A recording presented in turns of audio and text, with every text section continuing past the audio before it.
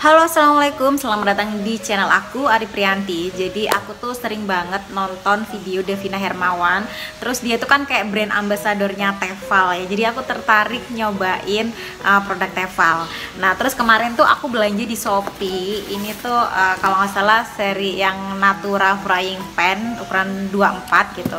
Terus ini udah datang ke rumah.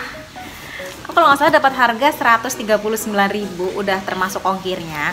Nah ini tuh packagingnya kayak gini waktu datang jadi boxnya besar. Padahal kalau teflon kan ya begitu ya tipis gitu ya. Tapi boxnya tuh kayak gini. Ini semoga ada bubble wrapnya sih dalamnya. Langsung kita unboxing yuk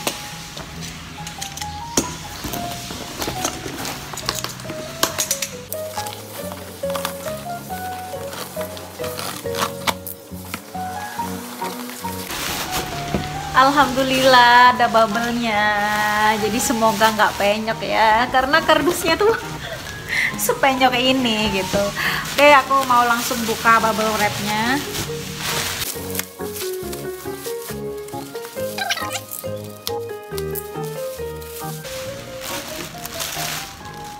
Udah dateng kita langsung cek yuk detailnya.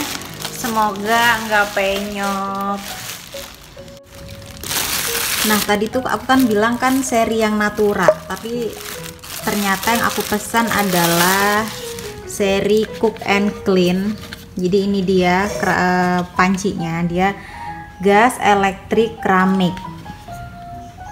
Ada tulisan-tulisan Thailandnya itu aku nggak tahu. Nah ini tuh bisa buat kompor gas Bisa buat kompor listrik Dan sepertinya bisa juga untuk kompor induksi Nah ini yang cook and clean aku pilih yang 24 cm Nah dia itu terbuat dari titanium non-stick. Jadi ini ya bukan yang granit gitu. Nah terus yang khas dari Tefal ini ada indikator panasnya. Ini kalau aku lihat di Devina Hermawan itu ada indikator panasnya kayak gini 100% easy to clean mudah dibersihkan. Oke langsung aku buka bagian kertasnya.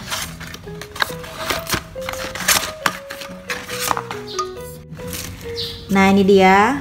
Teval Cook and Clean. Nah setelah datang itu ternyata pinggirannya cukup tebel kayak gini.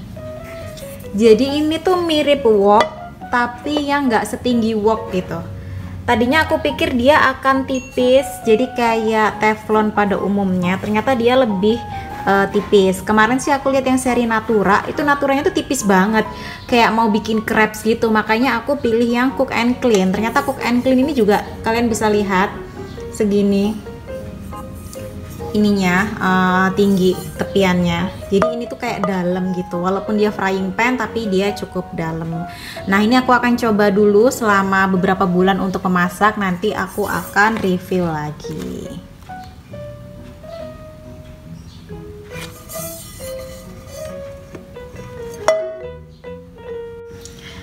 Nah ini adalah Tefal Cook and Clean-nya setelah sekitar dua bulan aku pakai Nah ini tuh ternyata lapisan biru motif-motif tevel di belakang ini atau toska ini itu nggak kebakar. Aku pikir pas kena api dia bakalan gosong kebakar tapi ternyata dia enggak.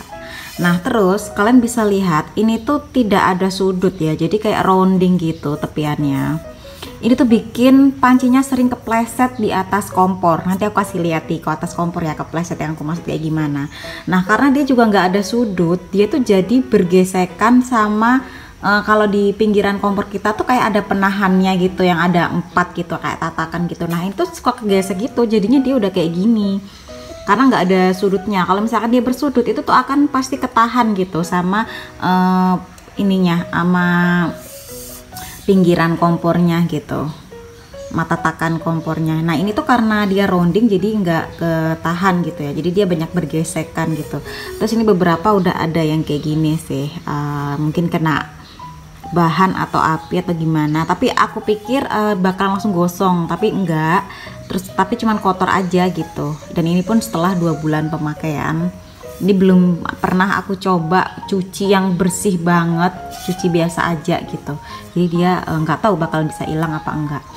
Nah ini dia pancinya. Aku nggak pernah pakai uh, spatula kayu karena aku merasa lebih aman pakai spatula yang silikon. Karena kalau kayu tuh ujungnya itu kadang itu ada yang udah runcing rusak gitu. Tapi kita nggak sadarin itu akan uh, ngerusak lapisannya. Oke langsung aku mau lihat yang di atas kompornya nah ini ya kompor aku. Jadi ini tuh ada petatakannya sekitar 5 5 kaki. Nah itu tuh kan ada kayak ini ya bergerigi. Ini ini tuh untuk nahan alat masak kita supaya nggak licin supaya nggak terpleset gitu. Nah nah terus kita coba tevalnya ya. Nah teman-teman bisa lihat tuh. Ini tuh jadi licin gitu. Tuh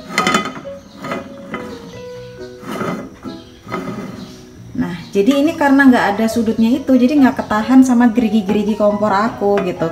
Itu yang bikin sering kepleset terus membahayakan tangan aku. Terus ini juga jadi uh, ngelupas gitu. Jadi kayaknya kalau seri Teval aku lebih prefer jangan beli yang tipe ini cook and clean ini kalau kompornya masih kayak aku gitu. Nah nanti kita akan coba ini ya indikator pemanasnya untuk masak telur